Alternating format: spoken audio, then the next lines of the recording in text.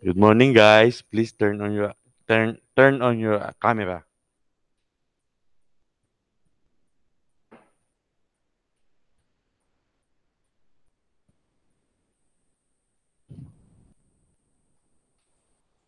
Wala yata yung panyo ko. Anyway. Baka.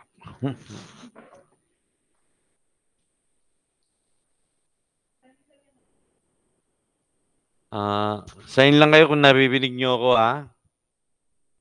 Okay? Okay, thank you.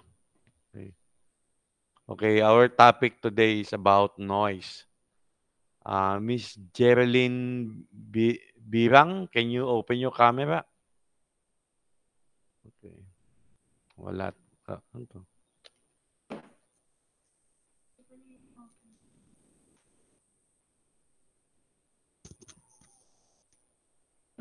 Oh, okay na yan?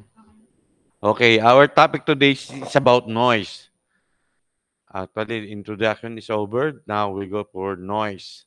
This is this is not the noise that you hear. It's a communication electronic noise, okay? Okay, we will now proceed.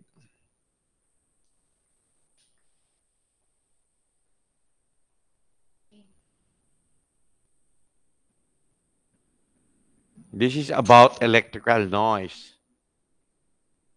This is, is a high fre frequency inter interference in the frequency spectrum, about 7,000 hertz to over 50 megahertz. So it's about electrical noise. This, uh, we will discuss discuss furtherly about different noise. Okay, noise can be transmitted and picked up by the power cord as a as an antenna or it can be carried through the power line. Actually, yung 60 Hz natin, may ingay yan.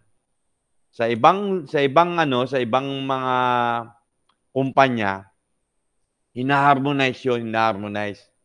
Lalo na sa semiconductor, bawal yung yung inga, yung harmonic yung harmonic disturbance ng kuryente. Bawal 'yan sa semiconductor because it, it could create yung tinatawag nating static.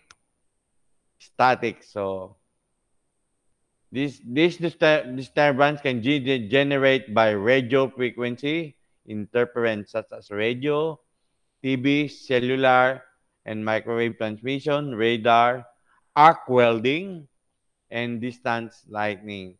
So, sa semiconductor, bawal ang may cellphone pag nagtatrabaho. Kaya pag napunta kayo sa semiconductor field at engineer kayo doon, huwag kayong magbubusan ng cellphone tapos nagtatrabaho kayo doon kasi madidisgrasya niyo yung produkto nyo. Ang produkto ng semicon ay ang mga IC, integrated circuit, yung magawa kayo doon. Kaya huwag kayong magbubulsa ng cellphone doon tapos nagtatrabaho kayo. Madidisgrasya niyo yung produkto. So, noise can, can also be caused by electromagnetic interference produced by heaters, air conditioner, white goods, and other thermostat control or motor-operated devices. So, kayo, pag kayo gumagawa, aba, nasa, nasa trabaho, alam nyo naman bawal yung noise interference, i-avoid nyo yan. Magdadala kayo ng mga gamit na nagba-vibrate tulad ng cellphone o kaya meron kayong meron kayong meron kayong dalang gamit na pwedeng maglikha ng noise, ialis niyo muna.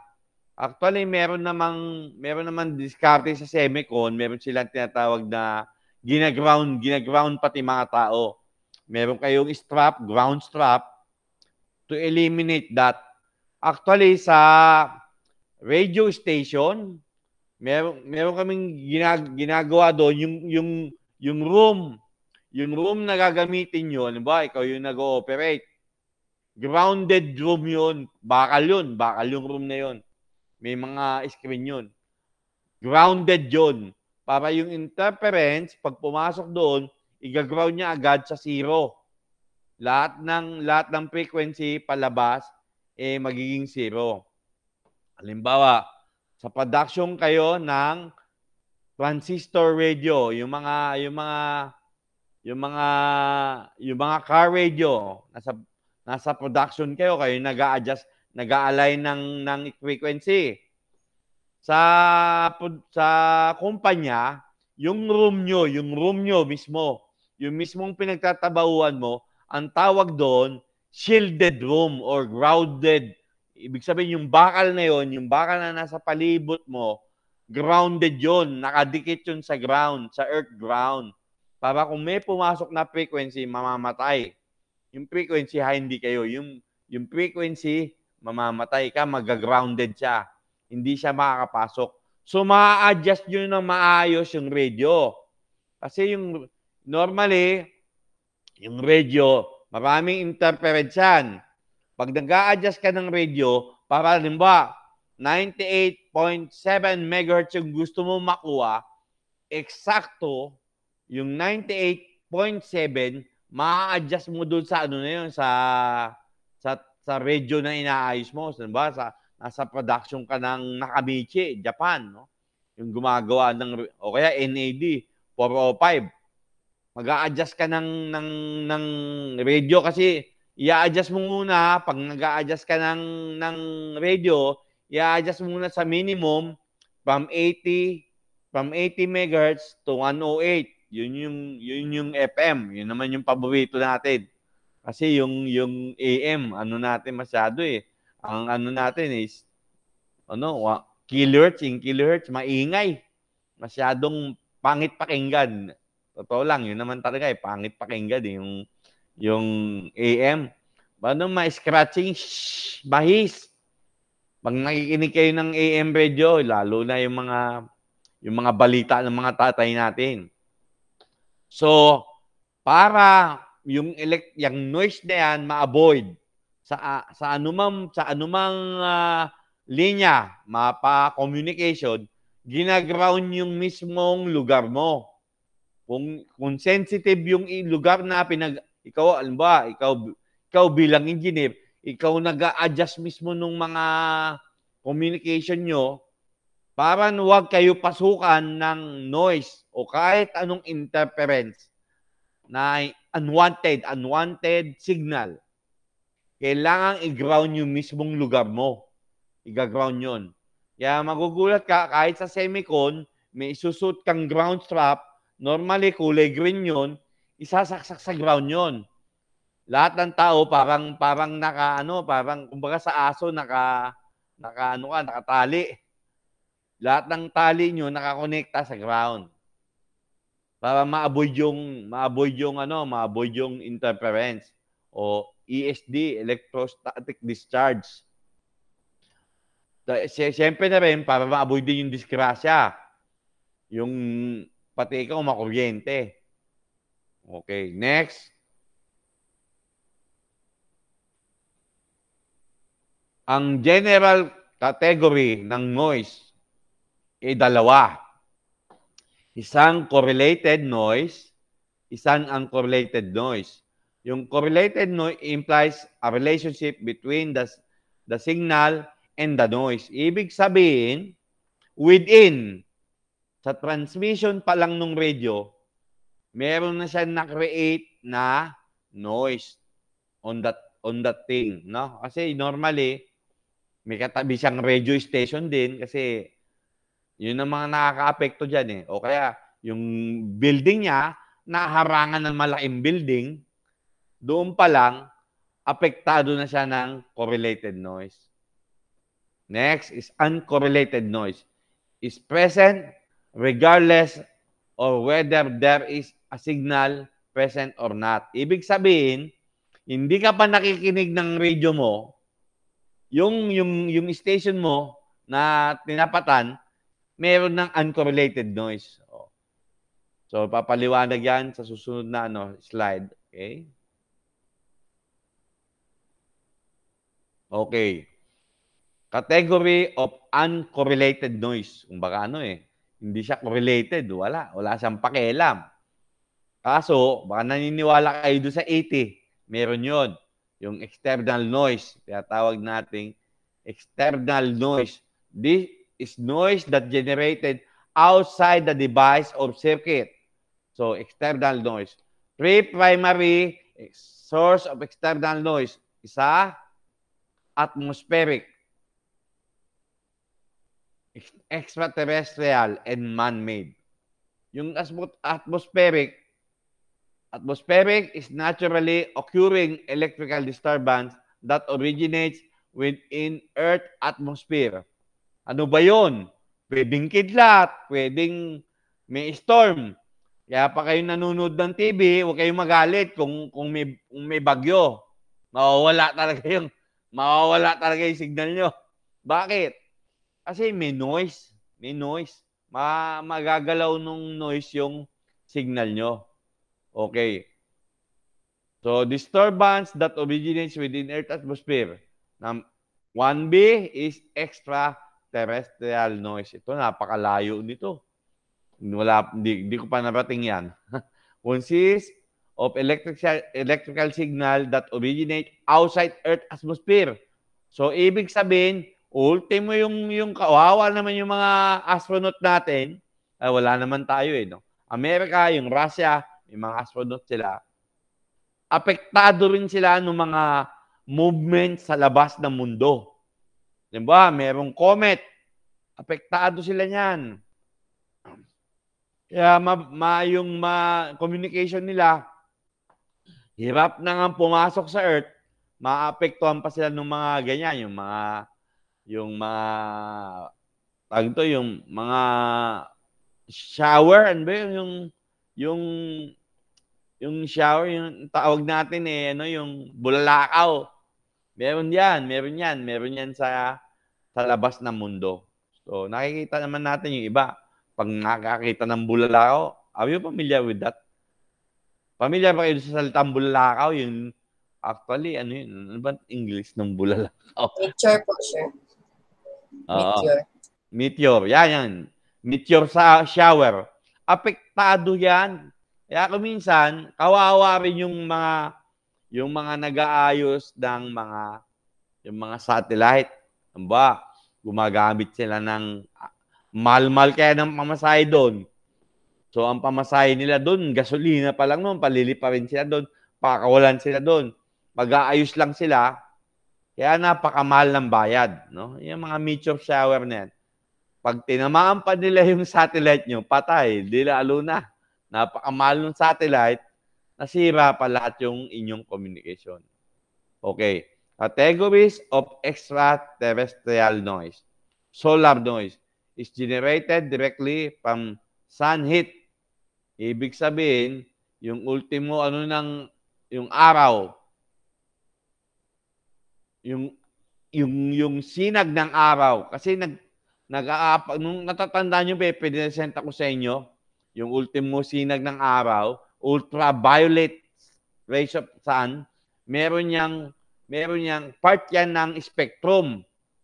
Lahat ng mga yan uh, nakakaapekto sa mga sa mga transmission ng signal. So, it's quite condition when relatively constant radiation insist, intensity exists. Siyempre, pag sobrang init, apektado rin yan. Pero matatalino tao eh. Ginamit na rin natin ngayon yung, yung init sa pag-produce ng kuryente. Yun naman maganda. Kasi although disturbance yun, sobrang init, no? Ang ginawa ng ano mong bansa to, yung mayamang bansa sa sa Middle East, yung ano ah, ba ito? Ano ba yung mga yung may pinaka yung yung yung lugar nila eh from, from dagat, ginawa nila, tinabunan nila yung dagat, tapos gumawa sila ng magandang ano. Actually, galing ako doon, nakakalimutan ko lang. Ah. Yung, yung sa sobrang yaman nila, mapapansin mo doon sa lugar nila, ang dami nilang solar panel. Kasi nga, wala naman silang hydroelectric power doon. Wala, wala talaga.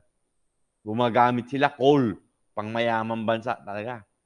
Sa kalangis. Dahil mayamang bansa ang ano, ang pangalan to. Ano bang bansa to? Sa malapit sa Middle East. Actually, mula Africa, dumadaan ako doon kasi bumibili ako ng mga regalo sa mga anak ko.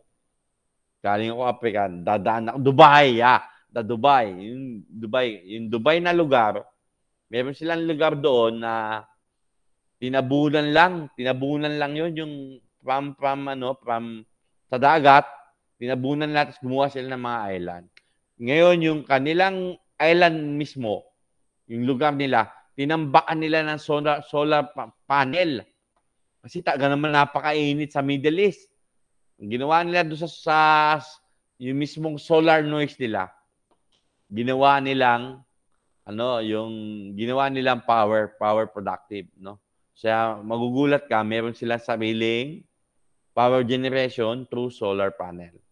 So, high intensity sporadic disturbance caused by sunspot activity and solar flare. Ito, yung solar flare, bira mangyari yan. Kasi pag sobrang init ng araw, may binubuga yan. Although walang nakakalapit dyan, pero may binubuga yan. So, sobrang init niya, meron siyang solar flare. Yun, nag-create din ng sounds yun. Uminsan, pag may tinamaan yun sa sabog, pag sobrang init, kahit naman tayo eh, magluto ka, Meron diyang bagay na nababad sa sobrang init, sumasabog. Eh, araw pa. Kung sa araw ka tatapat, di tagang sasabog ka. So, uling-uli dyan ay yung unrelated noise, yung tinatawag nilang man-made noise. Man-made noise is simply noise produced by, but by mankind. Ba? Doon sa lugar na na nakikinig ka ng radio, merong naggagawa, merong construction. Natural lang, minsan maiinis ka pag natutulog ka, tapos merong disturbance na ganun, yun, yun ang tawag doon eh, man-made noise. Okay? Ah, simple naman, maiintindihan nyo naman talaga yan, si man-made. Next. Number two is internal noise is electrical interference generated within the device or circuit. Ito, ito matindi. Yan ang tinatawag na ano, yung nanggagaling mismo dun sa parts, dun sa mga transistor, resistor na ginamit mo, nag-create sila ng ng ano, tawag to, ng ng noise. Ang tawag namin diyan ay harmonic. Mahirap. Mamaya, explain ko yan. True, true actual. Mayroon akong karanasan dyan. Okay. Ito ang mga class. Three kinds of internally generated noise. Shot noise, transit noise, and thermal noise. Shot noise is caused by the ran random arrivals of carrier holes and electron. Of, of course, pag may electricity, may movement ng electrons from positive to negative, negative to positive. Anong unang-unang sample niyan? Yung kung may fluorescent bulb kayo, dyan sa bahay nyo, yung nagta, nag, nagta-travel yung light nyo, electrons yun. Positive to negative. Kaya nagkakaroon ng linya ng kuryente. Next. O nga pala, raise nyo lang yung ano nyo, yung, yung kamay nyo kung Nagta- tinatagalog ko pa magkaintindihan tayo kasi mahirap. Baka mamaya hindi tayo magkaintindihan eh. Raise nyo yung kamay nyo kung hindi nyo rin naintindihan yung Tagalog ko. Pasensya na. Baka mali. Okay. Uh, at the output elements of electronic device such as diode, field effect transistor, bi ito yung field effect transistor, yung F80 kung tawagin, bipolar transistor, BJT, bipolar junction transistor yung tawag doon. So, yan yung mga nakikreate na harmonic noise mula dyan. Mamaya explain ko yan. Eh, may maganda akong sample dyan. Transit time noise, transit time noise, any modification of stream of carriers as they pass from the input to output. Yan naman. Kasi lahat ng device may input-output. Parang pag kayo na, nakapag-design na ba kayo ng amplifier dito? Ah, amplifier, hindi, hindi pa. Sana nga. Pag ano, pag kasi bandang uli, sana turuan ko man lang kayo ng mga ganyan design eh. Pero mamaya may papakita ko sa inyo yung sample. Just as from the emitter to the collector and transistor. Alam nyo naman siguro yung transistor. Meron siyang base, meron siyang emitter, meron siyang collector. Kabisado nyo yan ha, kasi uh, ilang, anong year na ba kayo? Second year? Third year? Anong year na ba kayo? Po. Second po. Oh. Dapat alam niyo yung transistor ha. Baka mamaya sa board exam lumabas yan. Napakasimpleng tanong lang yan. Kailangan alam niyo yan ha.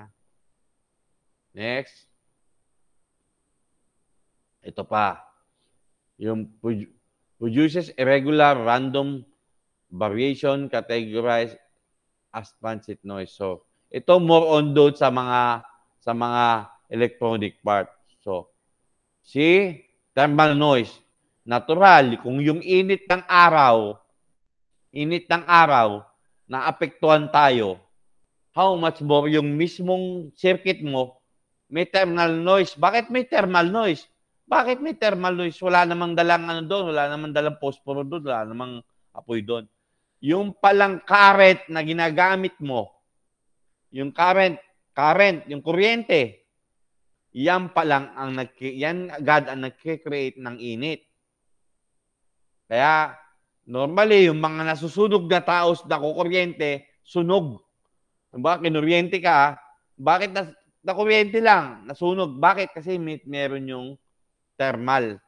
Ika nga, init. Meron yung init. Kaya huwag kang magtaka dyan. So, thermal is associated with the rapid and random movement of electrons within conductor due to thermal op operation. So, kaya, kaya yung, yung movement ng electricity pa lang. Nga pala, dito sa atin, gumagamit tayo 60 Hz, ha? Yung frequency natin, 60 Hz. Sa Europe, 50 Hz sila. Ang tawag nila doon, uh, harmonized, harmonized frequency yon.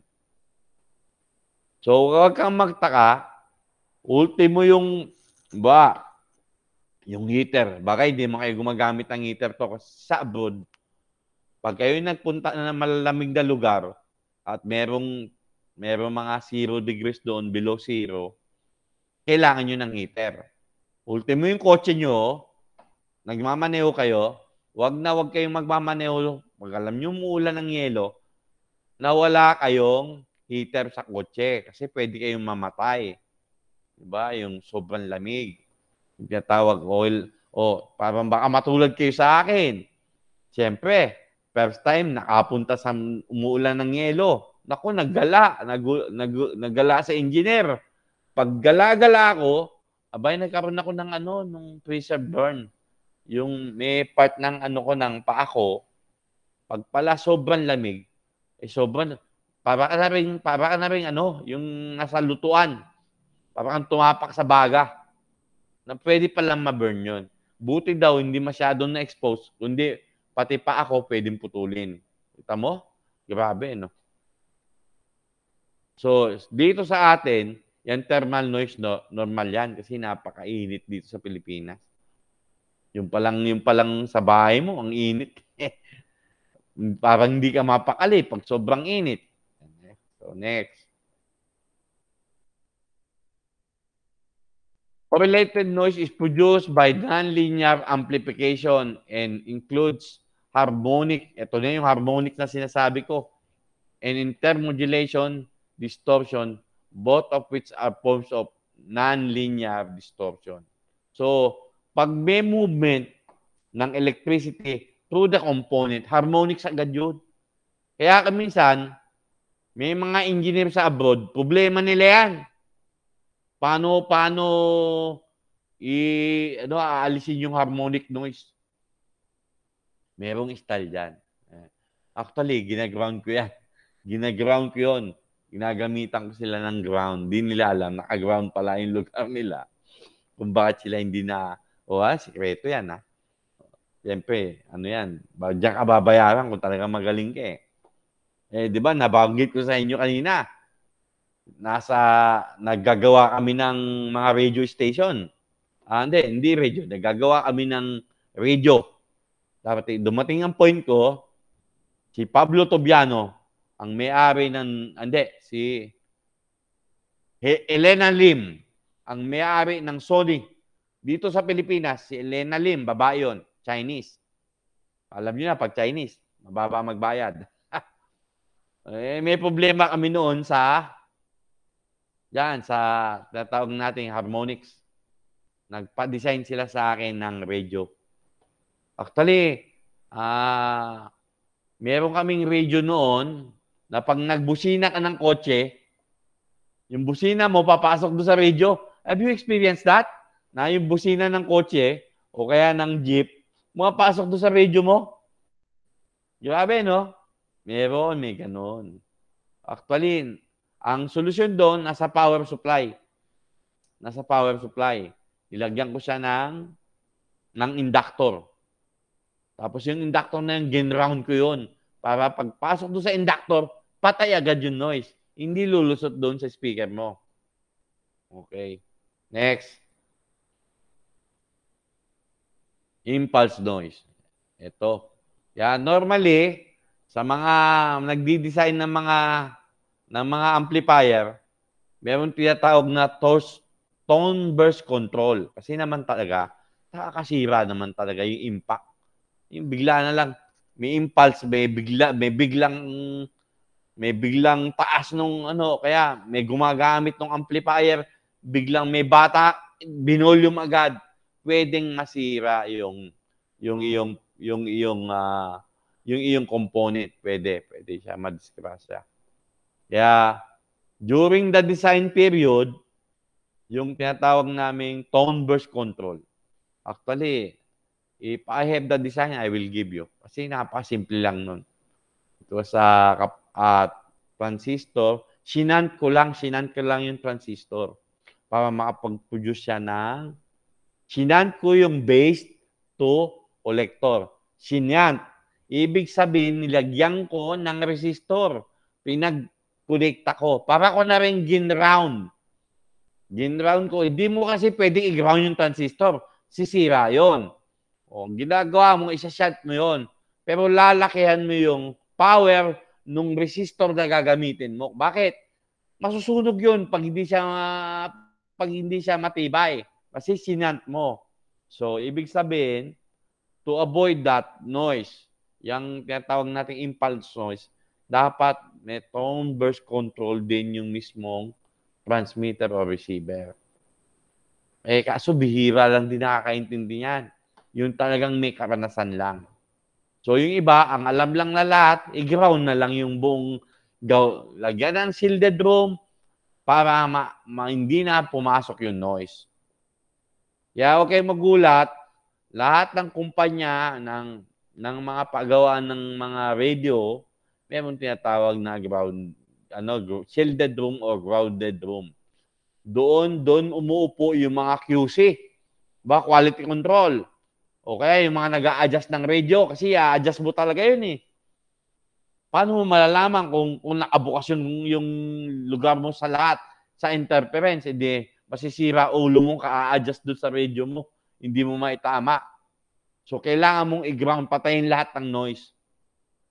Okay. Interference, yan. Yan, yan isang matinding noise, interference. Interference is a form of external noise. Uh, the, uh, the name implies names to disturb or detract from. Ibig sabihin, may pinanggagalingan. Oh, actually, mismo nga kasi sa, sa pag kayo nang galing sa production mismo, yun lang na ingay ng mga katabi doon, yung magkakatabing magkakakumare-kumare. Siyempre, taon na silang nagtatrabaho dun sa sa Solid Corporation o Sony. Ang tawag nila sa Sony, Solid Corporation, ha? Okay, magugulat. Si si Elena Lim may, may ari nun. So, isa ako dun sa tatlong engineer, apat kami pala, na engineer na nagtayo niyan nung kumpanya. Inayar kami noon, tinraining kami sa, pinadala kami ng Singapore para lang ma-meet yung mga designer ng Sony. Tapos nagulat nga sila nung time kasi na yun, mayroong rally-rally dito eh. Tapos pinabalik nila kami. Tapos bandang uli, pinabalik nila kasi kung mayroong problema sa quality assurance. Okay. Pasensya na kayo, masyado na ang marami yung experience ko. Kaya sabi ko lang, kasi para maalam nyo, huwag kayong maano, laban kung laban lang, engineer ka na ha, panindigan nyo yung pagiging engineer nyo, hindi yung tatakot kayo, dito ako. Buhay pa ako, pag may problema ka, tawagan mo ako. Malay mo, may masolve kang isang isang mabangis na problema doon. Aba, jackpot yun.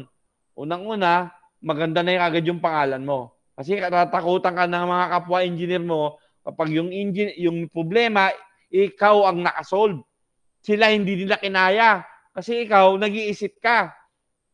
Kasi gina, pinagana mo yung pagiging engineer mo, hindi yung umaasa ka lang sasabihin sa'yo.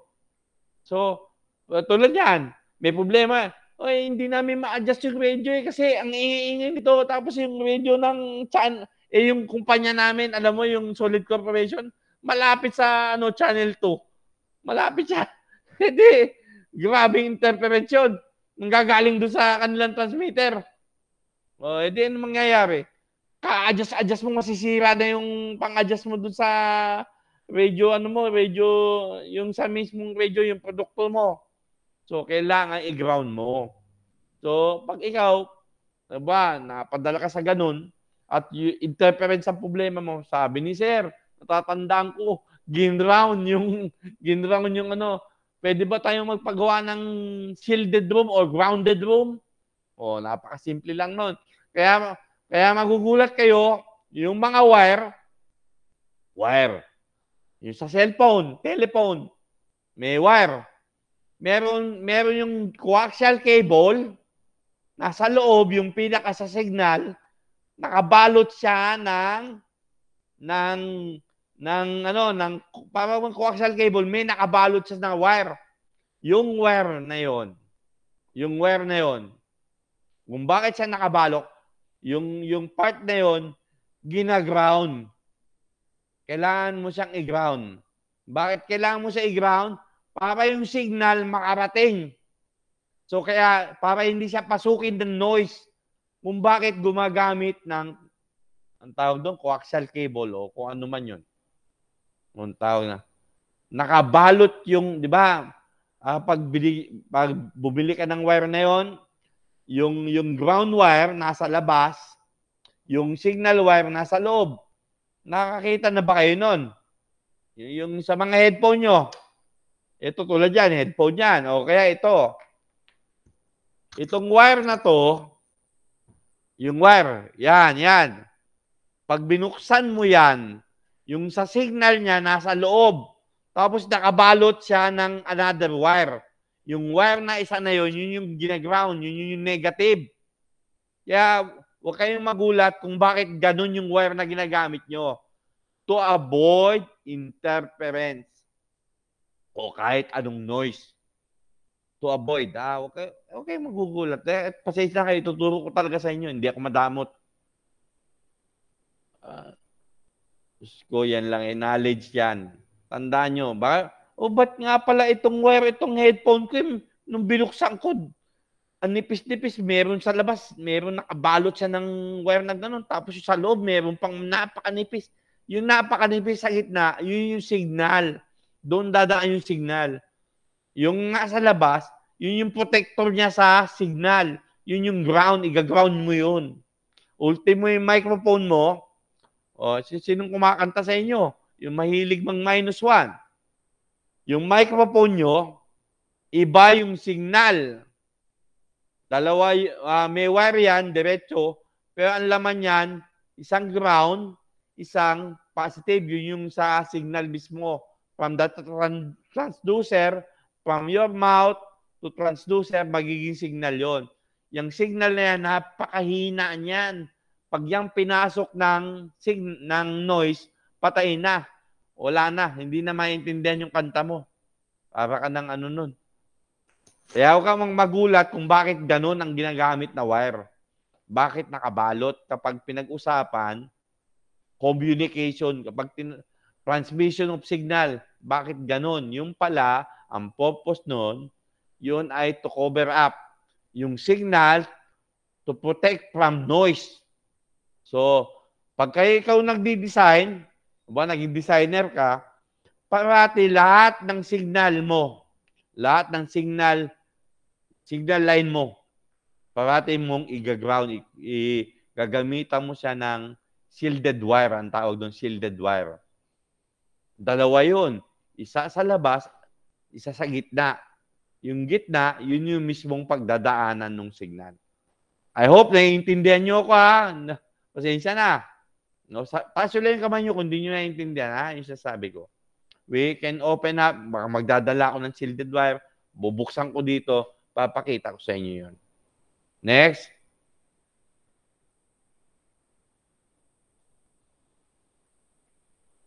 Signal to noise ratio. Ito, napaka-importante nito.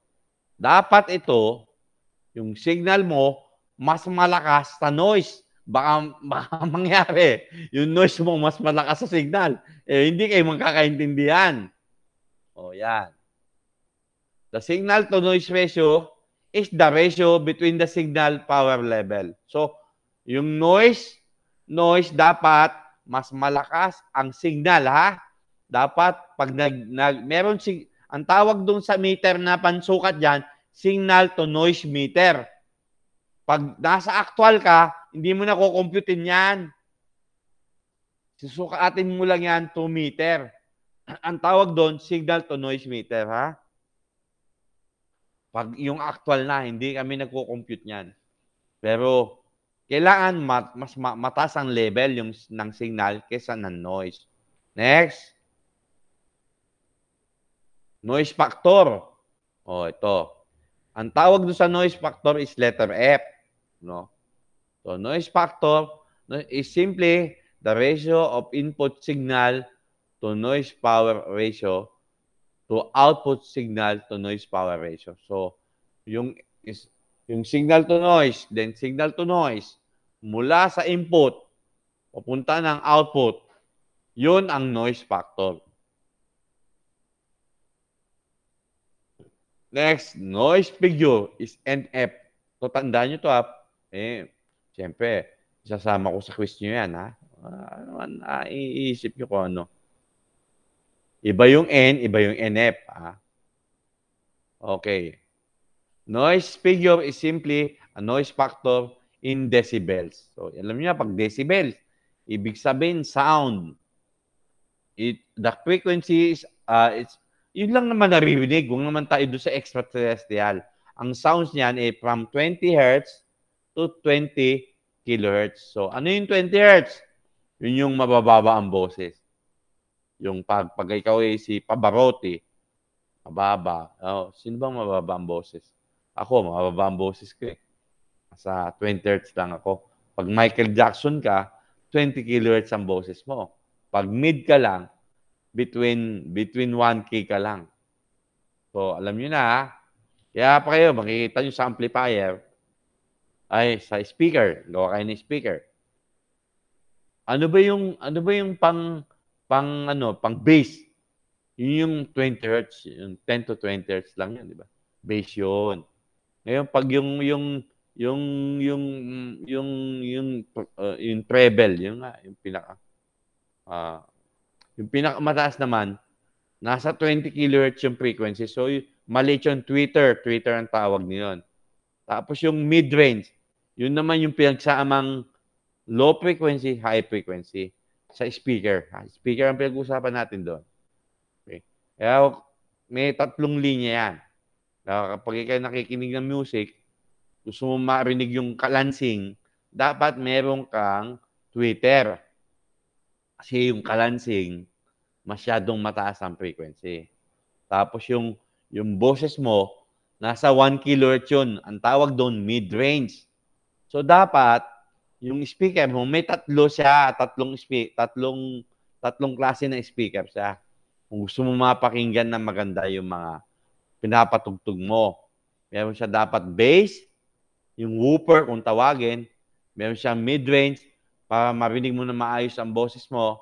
And then meron siyang Twitter para sa high frequency o mga kalansing. Next.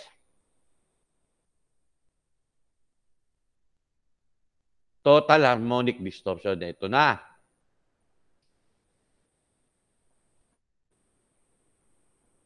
PHD kung tawagin yan, is defined as the ratio equivalent root mean square or RMS uh, voltage of all harmonic frequencies. So yan, pag ikay nagtatabaho na sa malalaking kumpanya, ultimo yung di mo naman nakikita yan. Problema mo yan bilang engineer. Kasi kahit sa semicon, ba, do sa warband, do sa pinaka-transducer nila, yung, nag, yung naglalagay ng ginto doon sa loob ng IC, yung nagtatahi ng ginto, nagkukonekta sa mga paa ng IC, ginto yun. Kinokonekta niya doon sa mismong utak ng IC. Yan, ginagamit doon ay warband. Kaso, yung warband na yun, meron yung transducer. Yung transducer doon nagpo-produce ng harmonic distortion. So, paano na naman susolve to? So, kailangan naman engineer. Oh. So, ang ginagawa ng mga engineer, ginaground lang. As simply, pati makina ginaground. Okay? So, from the second harmonics on, over the RMS of the fundamental frequency. Anyway, hindi nyo naman kailangan computin yan. So, PhD, merong, merong, merong, huwag ka lang mapunta sa design katulad ko. Okay. The frequency that you would identify it examining the signal with an oscilloscope. Bakit? Bakit oscilloscope? Ito kasi yung itsura nun. Pangit. Ito ang normal signal. Ito, ito nakikita nyo sa kaliwa. Napakaayos. Pag merong interference, may signal, may panggulo, meron siyang ganyan. Yung mga yan. Meron siyang ganyan. So, from yung output ng ano, i-measure mo sa, sa oscilloscope, ang makikita mo dapat ganito. Yung nasa left side. Pag nakita mo doon sa right side at may matalim, yan yung mga ganyan, no? May komang. Kung ano mang o ano binaling ano yan, may problema ka. Ibig sabihin, yung amplifier mo o mismo yung transistor mo na ginamit, may diferensya. Pero kayang isolve yan. Ika nga nung mga tinatawag nating inter, ano, ISF engineer, yung katulad ko, may training galing London, no? Siyempre, hindi na hindi ko problema yan. Bakit? Ito yan, no? Pakita ko sa inyo Actual experience to. Okay. Punta na tayo doon sa sharing real experience about total harmonic distortion. Totora, papakita ko sa inyo, hindi ako madamot, sabi ko sa inyo eh. Nung unang, nung, nung nakaraang panahon, sa NAD, gumawa ako ng isang amplifier. Ito, ito yung ginawa kong amplifier, ito yung dinesign ko. So, uh, it's a, ano, ika nga integrated. Ibig sabihin integrated, meron siyang tone control. Yan, yan, yung, yung, yung na, ina-adjust nyo, yung bass, yung ano, yan, yan, tone control.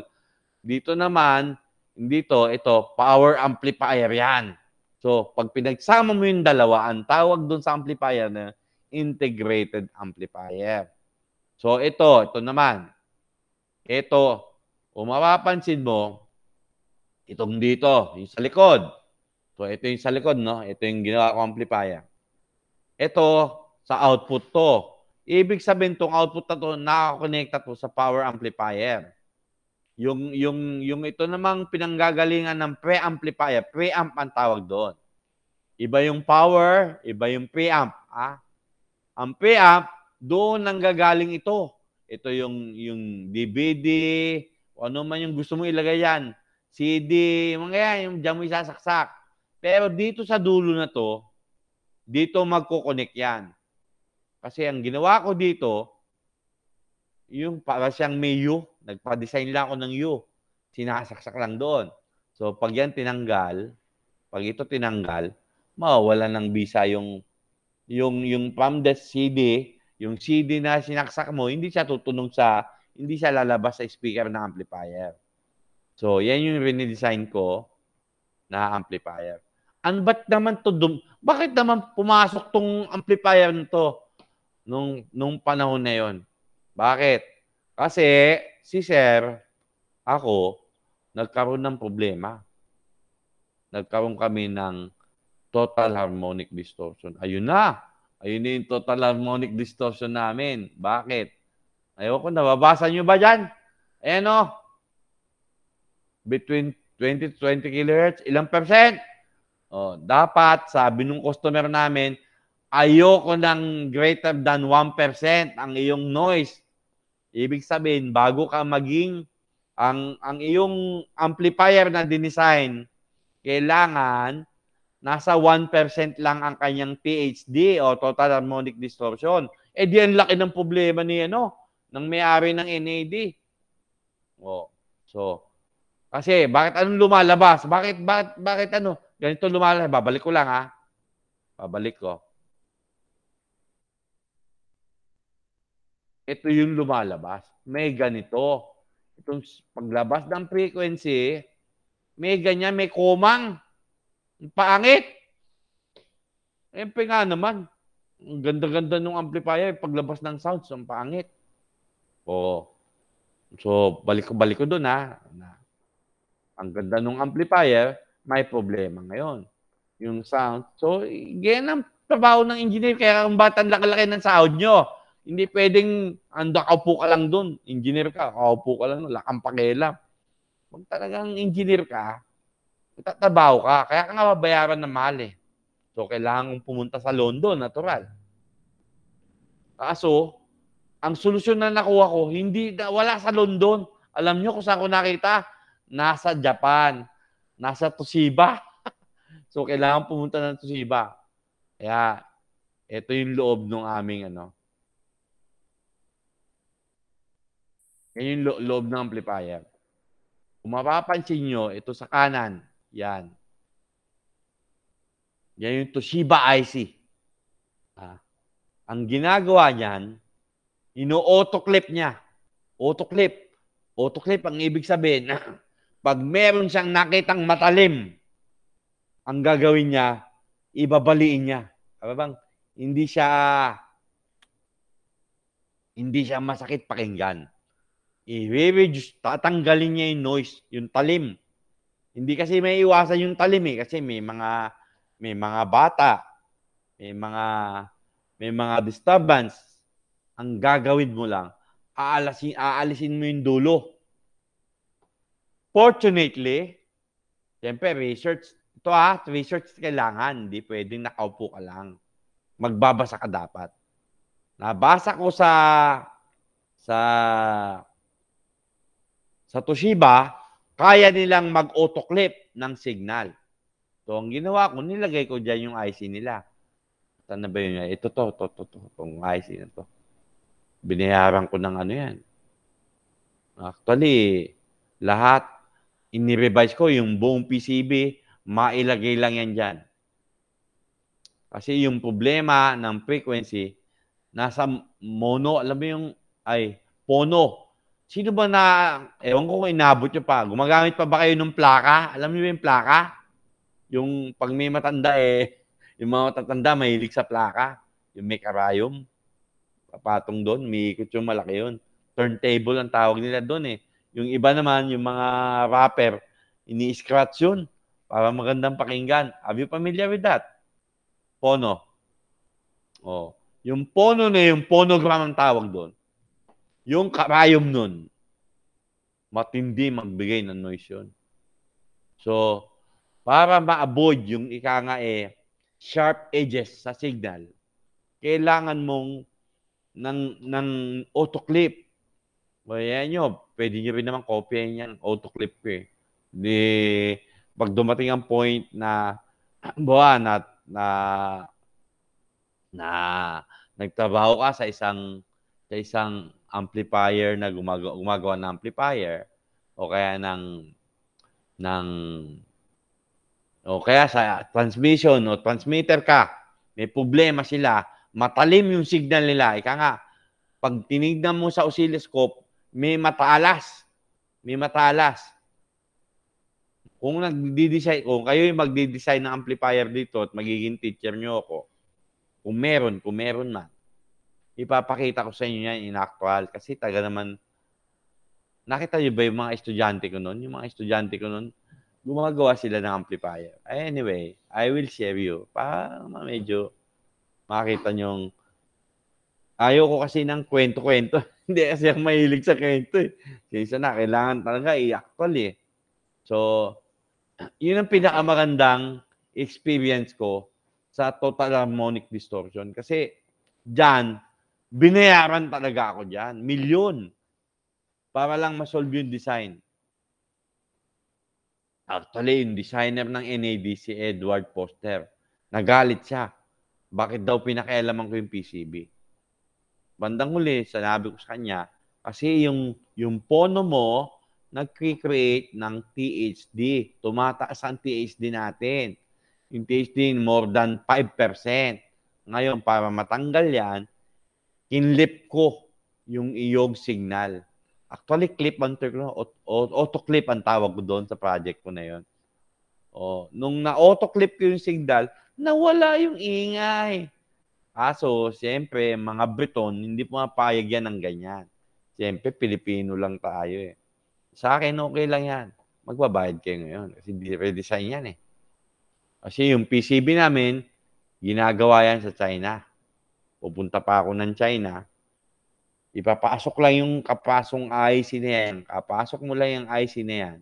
Dito yan, dito banda. Sa PCB, lahat pakikialaban mo na. Actually, IC number, ano yan eh. IC number uh, 375 yata. IC number. So, yun ang, yun. nga pala, lahat yan, dinumero yan. Ah. Huwag kayong, huwag kayong, pag nagdi-design kayo, lahat, pati resistor, may numero yan. Diyan, actually, nung time ko ako nag-design yan, et, eto, pangit na yung design nila ngayon. Eh. Lahat ng resistor ko, metal film. Kasi kayo, ang natututunan nyo lang sa school, ang percentage ng tolerance ng resistor ay 5% at 10% lang. Di ba? Yun lang kayo, doon lang kayo pamilyar. 5, 20%. Ang lalaki. Ang ingay niyan.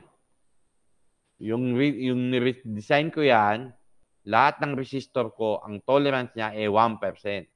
1% lang. Yung gumagamit ako nung apat na ban. Ano, nung lima, lima ang ban. Normally, ginagamit nyo yata tatlong ban lang. Nung apat na ban. Tapos yung ako ginamit ko yung mga lima. Ang pinababa ko, ang supplier ko sa Korea. So, nagpagawa ako ng, ng magandang resistor doon. Nga pala, pag nag-design kayo, lahat-lahat ha. Hindi lang, hindi lang lahat yan. Ultimo yan. Kung bakit may extender yan, yan, bakit mahaba. Yung pindutan yan, yung pinipindot. Bakit mahaba? Noise din ang problema noon. Apektado yung pono. Kasi sensitive ang pono kasi. Apektado siya pag masyadong malapit yan. Kasi lahat ng switch may latching. Tumutunog yan. Pindot-pindutin mo yan, may latching yan. So ina-avoid natin 'yan makaapekto nung ito yung kanyang ito yung kanyang yung kanyang power supply to, ha? Ito nakikita mo yun yung malalaking yan ang power amplifier. Parati pag nag-design ka ng amplifier, may may transistor. Normal yung transistor, dapat lalagyan mo ng heatsink. Ah, pag pinabayaan mo walang heatsink, nako, sabog yan. So gusto mo matatag yung iyong amplifier, kailangan yung transistor mo, ilalagay mo sa heatsink. Kaya huwag ka magugulat. Yung mga power transistor, ayan, naka, talagang nakaano pa yan, nakatornilyo pa. kailangan nakatornilyo. Tapos kailangan yung, alam mo ba yung may kulay puti, yung pinapahid. Yung, tawag doon sa puti na yun. Silicon compound. Pa, pag kayo gumagawa, eh, um, yeah, kasi, kasi design itong gusto natin eh. Design to to, di ba? Dapat, pag gumamit kayo ng transistor, lalagyan nyo ng heatsink. Tapos yung gagamitan nyo, kung may, dapat may silicone compound, kung may makikita kayo, mga puti-puti, kala mo basura. Hindi basura yon Para yung, yung, yung pandikit yon para sa ganun, yung heat transfer ng iyong transistor from the transistor itself going to the heatsink planchado. Hindi yung pwedeng bumigay kasi ang iyong ang transistor, pwedeng masira anytime. Sa tagal mong gagamitin ba naman eh. Okay. Next. Okay. Yun pa ba Okay, next is amplitude. Pasensya na kayo, medyo mamadalian ko kasi yung pag-represent.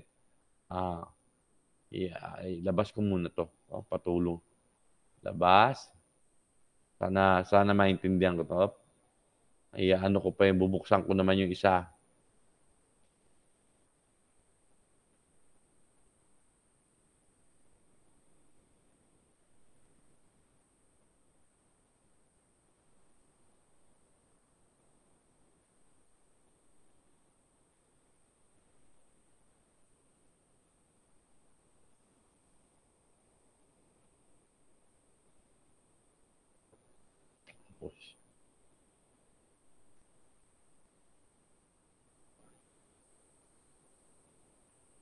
Share.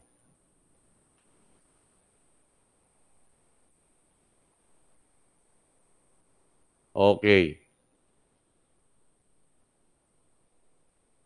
Okay, ito naman yung tinatawag nating amplitude modulation.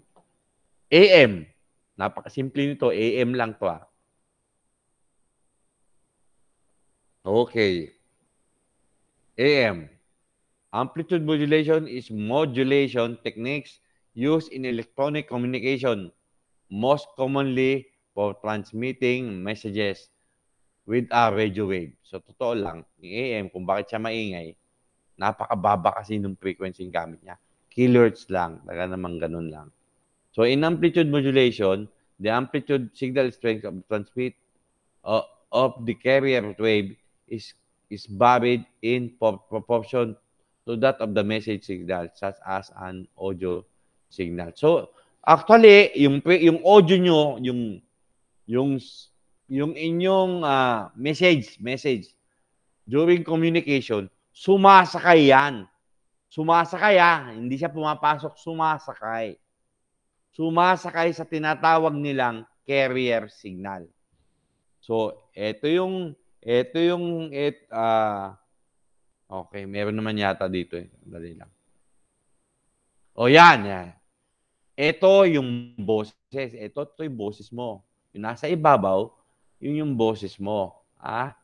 Yung nasa gitna, yan yung carrier signal. Ano ba? May, may ina-assign na carrier signal.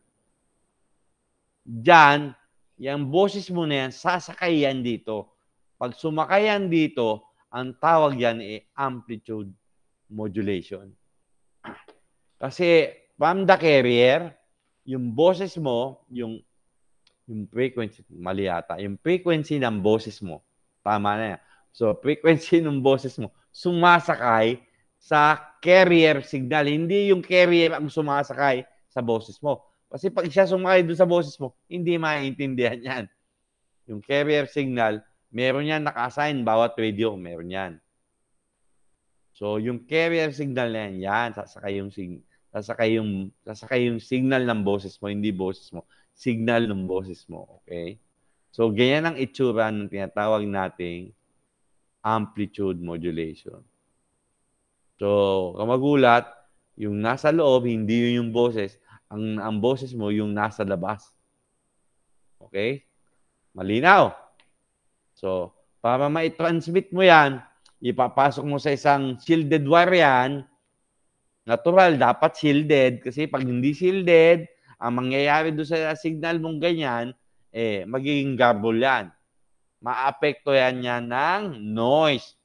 Ultimo mismo yung transistor, yung mga capacitor na ginamit na doon, may noise yon. Hindi mo maiiwasan yun. Kasi merong movement ng electron. Ano yung movement ng electron? Natural may kuryente pag may kuryente, may movement ng electron. Mapa diode, mapa transistor, capacitor, lahat na. Meron. Apektado ng noise. So, yung amplitude modulation na yan, isipin mo, boses mo, ang liit-liit ng frequency niyan. Ang liit-liit. Ang liit ng power. Tapos isasakay mo pa sa isang carrier frequency. Ano kaya babasahin ng ano yun? Ano ba nagbabasa niyan? Natural, ang babasa niyan ay yung ano, yung yung ating tinatawag na AM radio. So, amplitude modulation is defined as modifying the amplitude of the carrier wave. So, bakit sa bakit mo i-modify yung amplitude ng carrier wave? Siyempre, amplitude modulation, ang, ang minomodulate mo yung amplitude. So, naiintindihan niyo ba ako yung amplitude? May amplitude ha. Meron siyang yung yung taas yung taas ng signal, yun ang minomodulate mo. O, hindi frequency, hindi frequency modulation.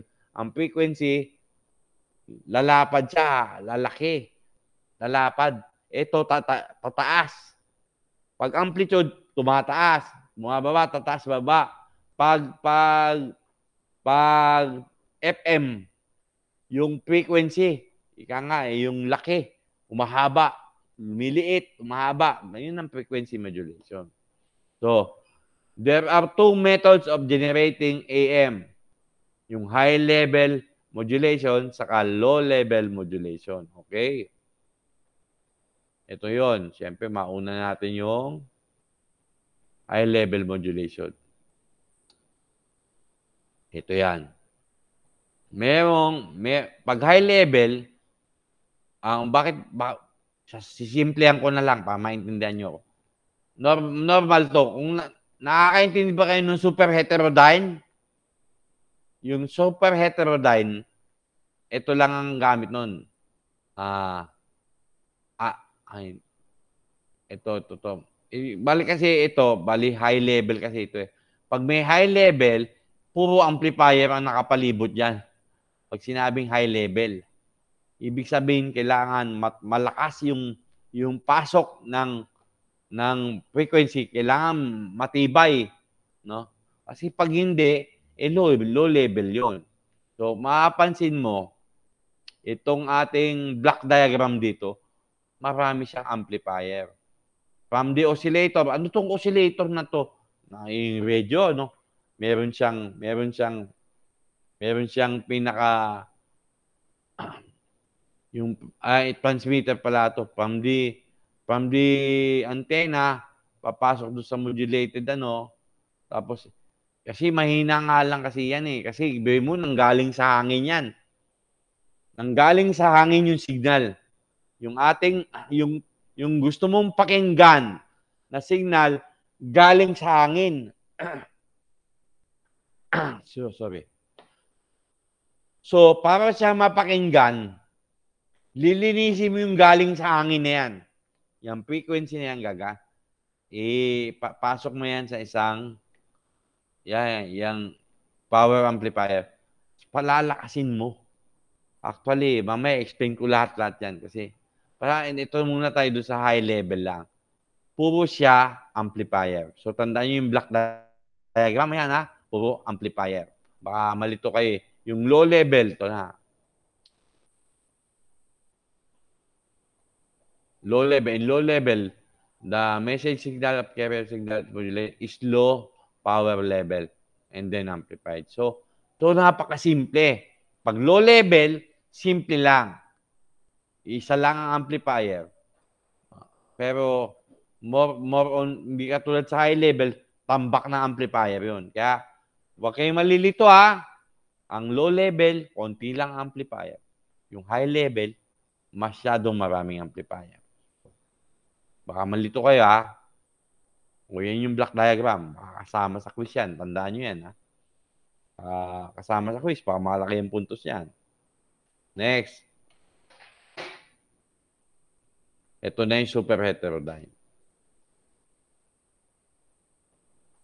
Super heterodyne receiver is the non-uniform selectivity of TRF, tune radio frequency. Ika nga, tune radio frequency, eh galing ikaw ang namili niyan.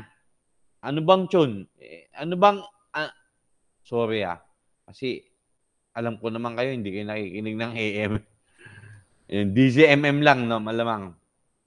Alam niyo yung DCMM? Although nagsara na. Nagsara na yata yung channel 2. DCMM. O yun, AM yun. AM radio yun. So, yun ang paborito ko pag nagmamaneho kasi ako. Normally, yung kotse ko, naka ano na yan, naka AM na yan. Naka-program yan, 1 AM. Yan yung DZMM. Buti hindi nagsabay yung radio station. Nakikinig kasi ako balita eh. So, kailangan makinig kang balita pa ba nagmamaneho ka. Baka mamaya minsan ka, yung pupuntahan mo pala, nagkakagulo na. Hindi ka nakinig ng balita, pagpunta mo doon, pati ikaw nakagulo na rin. Dapat nakiki, ano ka, nakikibalita ka. So, tune frequency radio. Tayo, kayo ang namili, led to the development of super heterodiode receiver as improved greatest since its original design. Pero actually, lahat lang yan pare-parehas. Naman kailangan baguhin yan. Its basic configuration has not changed much. So, kita nyo ah, yung pa rin ng basic. This is this still used today for a wide variety of radio communication service. So, so normal. So, normal lang pala. Oh, ito yun. Oh, yan. Oh, black diagram. Yan. Ba marami yan. Marami yan. Baka pag nag-research ka, hindi naman yun ng hindi naman yun ng black diagram. Oh, bakit ito pinili ko? Gusto ko kasi simple usapan, hindi pahirapan. Gusto ko naiintindihan. Ayoko na magulo. Yon. So, simple lang. Merong radio, radio, radio antenna. So, may section 5. Yun yung tinatawag na AM mixer. Bakit? Ito. Siyempre, darating sa antenna mo. I-oscillate mo yun. Hahanapin mo. Pag yan, nakamix pa yan. Nakamix pa. Tapos, dadaan doon sa intermediate frequency. Yan. Yan na. From doon sa maliit na frequency, maliit na power ng signal, mula sa yung antenna, di mo nakikita yan ha, signal yan.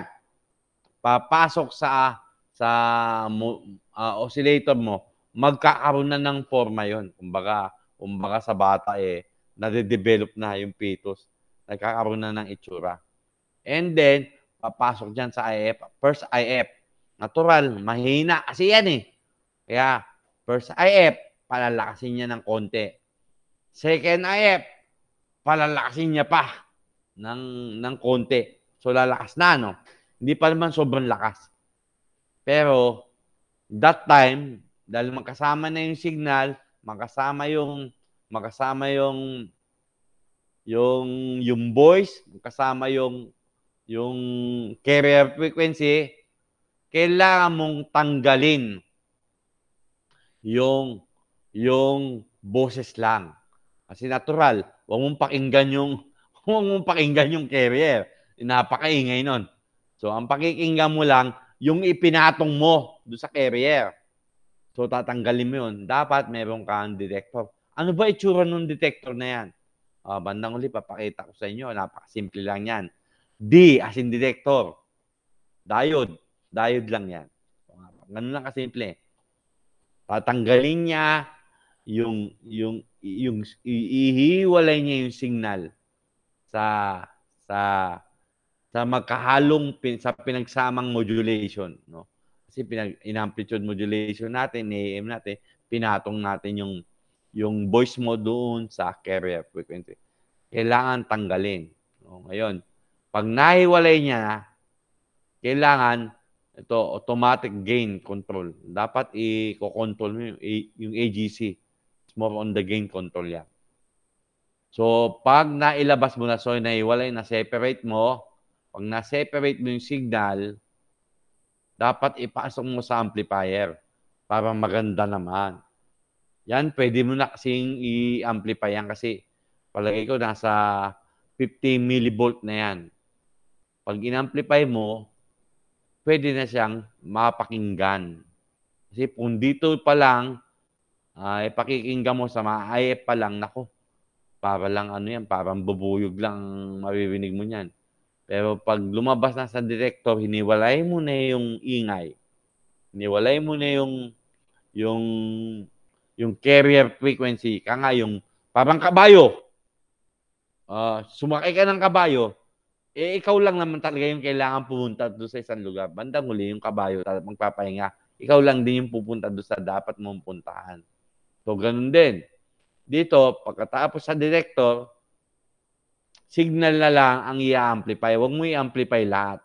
Yung signal na lang. So, yun ang i-amplify mo sa audio amplifier. Para din yung amplifier na dinisign ko yan. Ipapasok mo yung boses mo, lalabas doon sa speaker. So, so, pero, nililino, papansinin nyo, lima lang, lima yan. Pero kasi, anim talaga yan, yung section na yan. Bakit? Kasi meron tayong, meron tayong antenna section. Kasi yung, yung nakita ko sa ano yan, lima lang eh. So yan, anim talaga yan. Yung antenna section na nawawala. So kaya, kailangan naiintindihan nyo yung block diagram ha. Super heterodyne yan. It's commonly used. Pag ikaw nagtrabaho sa radio, lahat ng kahit may tinamaan, basta may radio. Meron yang, meron yang. Kailangan naiintindihan mo yung yung super heterodyne. Dahil dyan nagmula lahat ng design.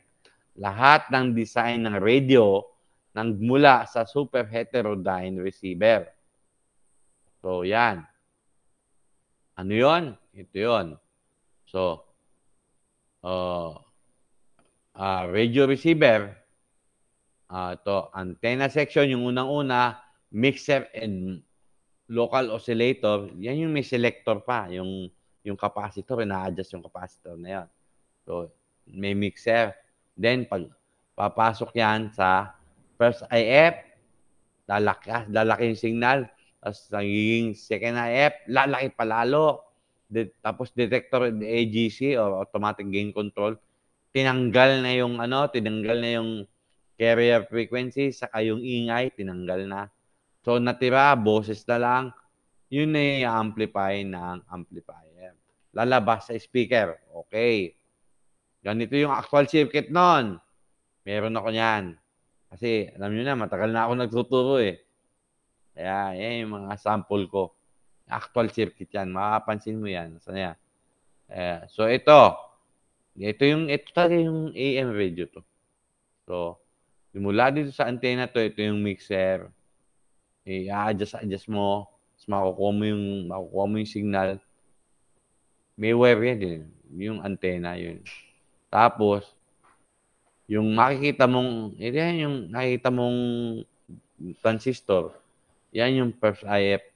Actually, pag pinalaki mo to, makikita mo yung first IF dyan. Tapos, tapos yung pangalawang transistor, transistor amplifier yun ha. O dyan, meron na naman yan, another IF.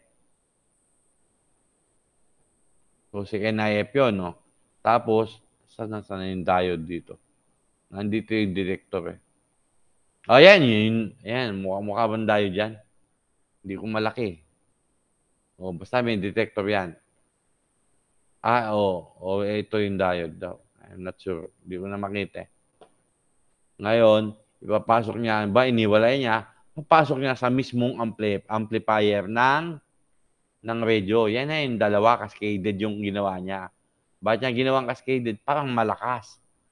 Para paglabas dito sa ito yung speaker. Paglabas yan, mapapakinggan mo talaga. So, napakasimple mag-analyze. No? Ay, ito, ito siguro yung detector to. Da, diode yan. Mukhang diode eh.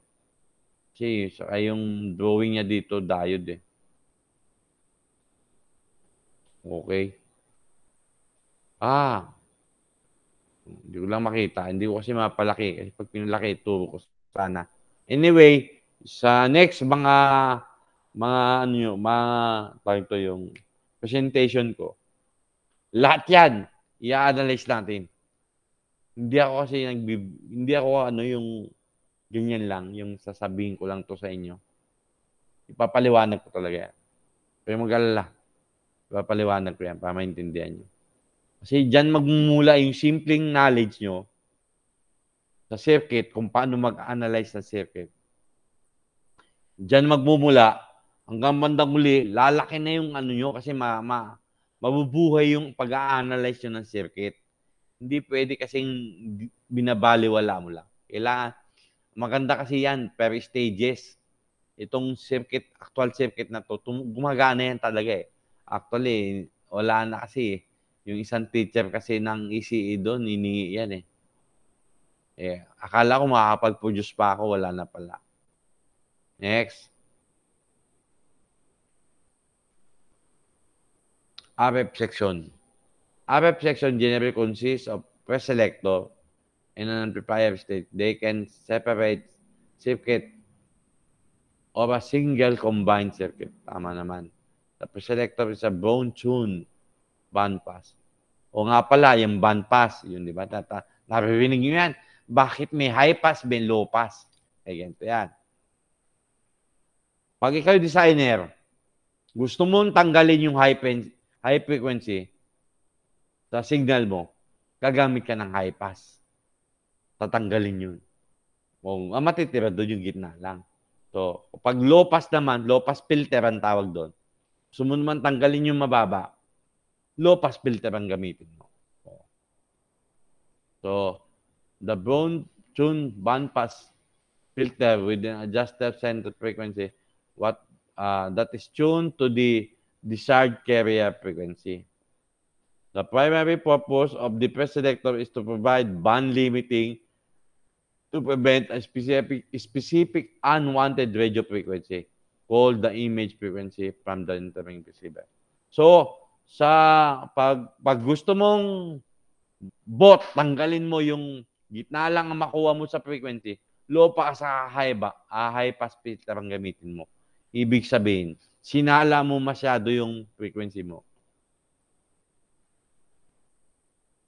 Uh, mixer and converter section. Yeah.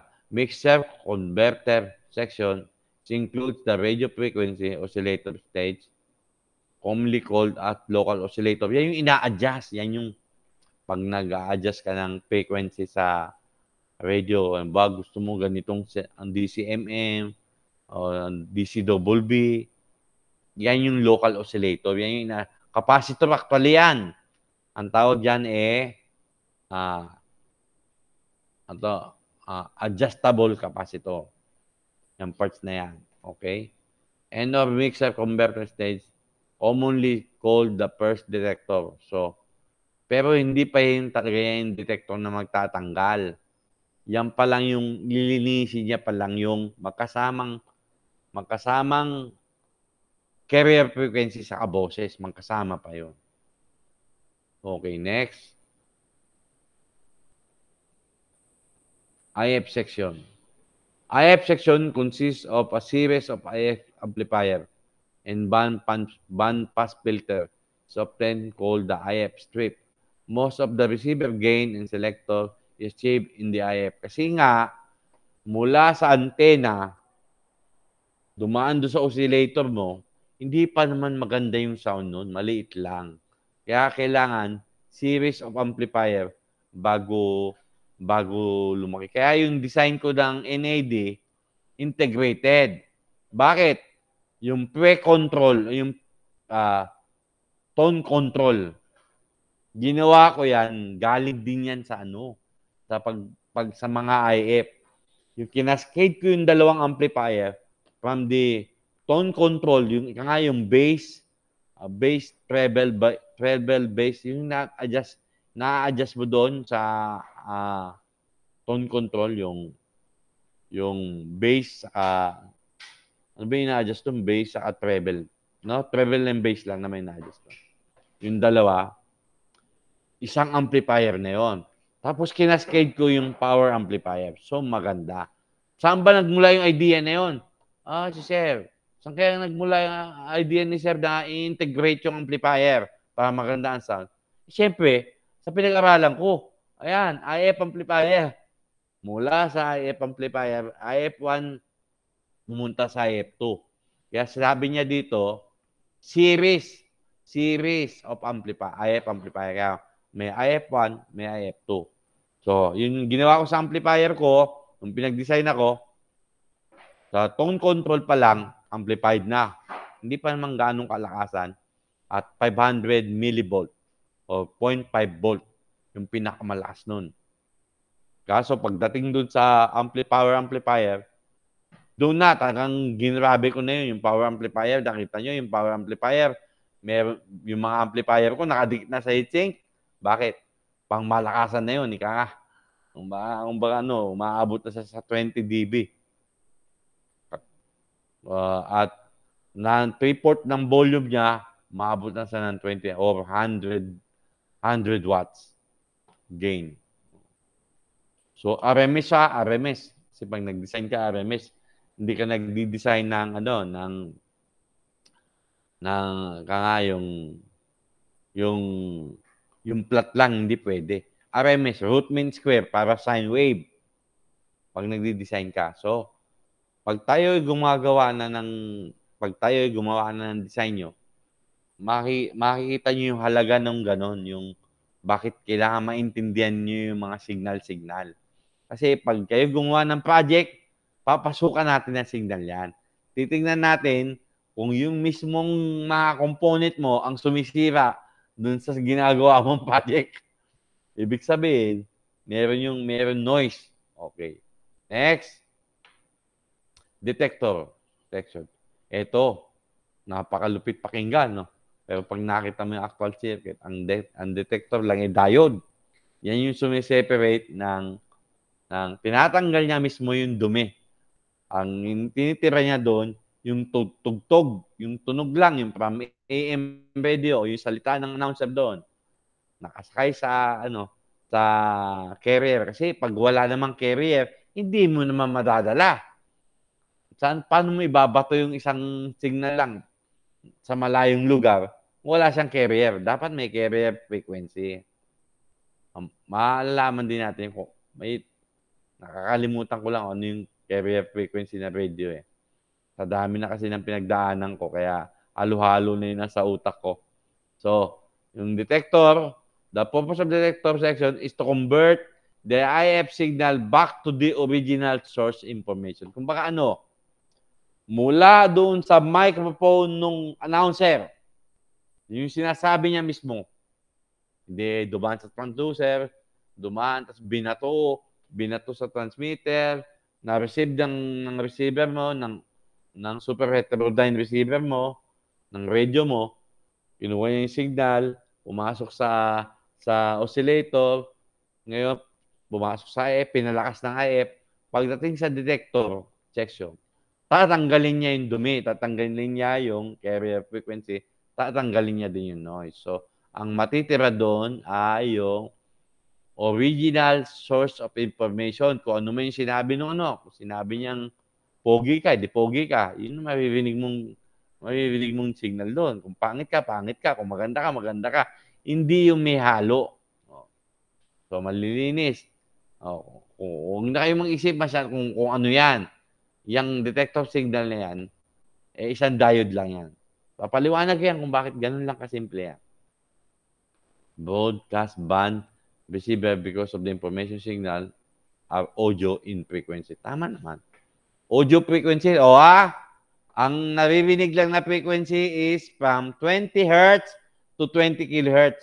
More than that, hindi nyo na maririnig yun. Uh, baka mamaya nag-iimbento kayo ah, hindi yan naririnig. Ang naririnig lang ng tenga, audible. Those audible frequency is from 20 Hz to 20 kHz. Yung 20 Hz, yung pinakamababang boses, yung 20 kHz, yun yung kay Michael Jackson, yung 20 Hz kay Pavarotti yun. O ano, sino man mababa ang boses. Baka ako, para sa akin, mababa ang boses ko eh. Yun lang ang napapakinggan from 20 to 20 kHz. So, yun, yun ang kailangan mong mailabas. So ano so anong anong bandpass mo? Natural kung, kung bandpass filter ka, kailangan mo pag low pass mo, below 20 Hz, tanggalin mo. Yung yung yung yung high pass mo, uh, more than 20 kHz, tanggalin mo kasi hindi mo naman siya napapakinggan. Hahalo lang sa doon. Magiging dumi lang sa doon. Next. The audio amplifier. So, lumabas doon. O pag lumabas doon, nahiwalay mo na, malakas na ba yun? Mapakinggan mo yon. O most commonly, nasa 5, 500 millivolt lang. So, 500 millivolt, mahinang mahina yon. So, kaya 0.5 volts to be exact. Parang naman kayo magkwenta niya, RMS yan. Root mean square. Nasa 500 millivolt, yung magandang i-amplify.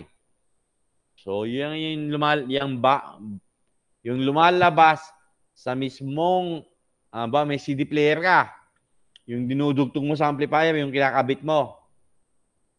Ang lumalabas doon, yung malinis na signal doon, yung sa, sa, sa CD player mo, eh, 500 millivolt lang.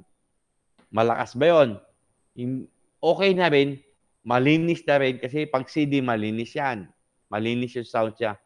Yun, from doon, palalakin mo through audio amplifier section. So, mula dyan, yan na yon. The audio section comprises of several cascaded audio amplifier. So, sinasabi ko sa inyo, hindi ako nag-imbento mula sa aral, kailangan mas mag-cascade ka. Kaya magtatakas, sobrang dami nung magkakasunod na na transistor na nilagay ko doon sa power amplifier. Yung nakadikit sa heatsink. Namo, ang dami. Sa sa preamp niya, konti lang. Oh. So, the audio section the audio section comprises several cascaded audio amplifier and one more speaker. The number of amplifier used depends on the audio signal. Sandali, balik ko lang ha. Sandali lang, balik ko lang.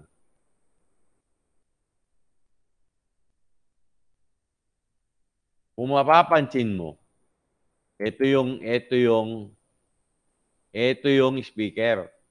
Yan yung mapakinggan mo. Mula dito, mula dito sa detector, eh, palagi ko ito yung detector. Eh yung signal pumasok dito. Pinag-series ka agad cascaded amplifier. Amplifier, ito mula dito, pumasok dito, pumasok dito, lumabas dito. Ayan na. Dito na sa dito na sa speaker pumunta. Yung filter, di nakikita niyo yung mga transistor, yan ay filter lang. Panlinis lang yan. So, ang nag-amplify talaga eh transistor. Ha? So, pag nagdi-design transistor, ha, akala nyo, lalaki amplifier sa capacitor. Kasi hindi. Transistor ang ginagamit. Ha? Pag-amplify ng signal. Okay. Ang ang naglilinis, diode, detector. So, ito naman, ito yung, dito naman, kasi natural, kailangan natin, from, from the antenna itself, mahina talaga yan. Siyempre, wala ka nakikita eh ma mararamdaman mo pa. So, yan yan. So, ito pre-tune. Ito IF, tinutune yan. Okay, next. Balik tayo doon. Pasensya na ha. Napaki, lilinaw ko lang. Sabihin nyo sa akin kung may problema ha. Kasi gusto ko naiintindihan yung sinasabi ko eh. Mahirap yan. Yung o lang na o. Pag actual na, mahirap eh. Next. AM broadcasting.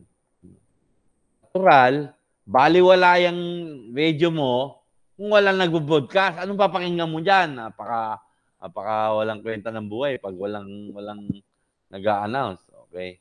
So, AM broadcasting is radio broadcasting using amplitude modulation.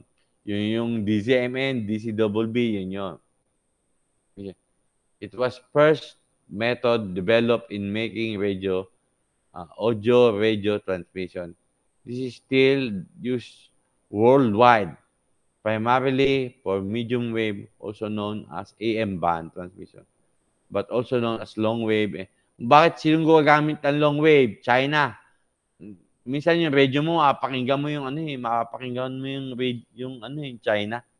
Di, sino ba nakaranas na noon? Nag, nag, nakikinig ka na radio pag paglipat mo ng station mo, maririnig mo yung incheck. Yung mga kanta ng incheck. Meron yan. Napakalapit kasi sa atin yan. So, ano ba ang dapat yung alam? Dapat natural alam nyo kung anong frequency. Anong radio frequency. So, ang radio frequency o yung tinatawag nating AM, R, it's about 550 to 1,720 kilohertz. Sa kilohertz. Pakatandaan nyo yan. Ah, hindi tayo, ano, baka mamaya, AM, di mo alam. Eh, anong station mo? Baka naman, mm, baka naman FM. So, this is the range of carrier frequency available. So, depende sa gusto mong gamitin. The information transmitted is music and talk, which falls in the audio spectrum. Audio spectrum is 20 to 20, 20 kilohertz. So, yung napapakinggan ha, 20 hertz to 20 kilohertz. Yun lang ang pwedeng pakinggan. Next. Okay. Okay. Okay. Oh. Oh, mag magano kayo, mag-review kayo dito ha tungkol dito kasi magbibigay ako ng short quiz diyan, ha. Short quiz lang naman.